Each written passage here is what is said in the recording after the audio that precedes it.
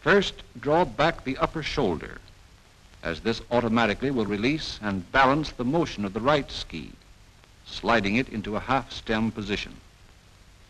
More and more, the body pivots over to the upper ski, thus transferring the weight gradually to what becomes the outside ski of the turn.